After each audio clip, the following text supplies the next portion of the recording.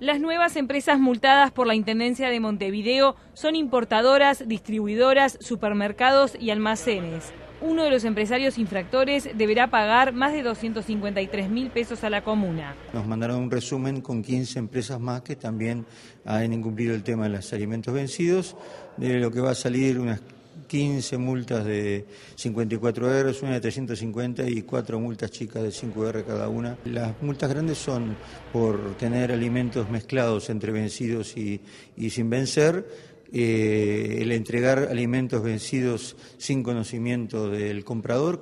En este operativo de la Intendencia de Montevideo se abrieron más de 80 expedientes por irregularidades en los alimentos. Resta analizar un 20% de los casos encontrados para determinar su sanción. La Intendencia sostiene su sospecha sobre la existencia de una red especializada en lucrar con alimentos vencidos, pero la justicia aún no determinó responsabilidades. Lo cierto es que el propio dueño del local que originó la, investigación eh, dijo que a él se las ofrecían vencidas para vender. Ahora, si era la empresa o un distribuidor, eso no se ha logrado y eso está, no se ha logrado dilucidar, eso está en investigación por parte de delitos complejos y en manos de la justicia penal.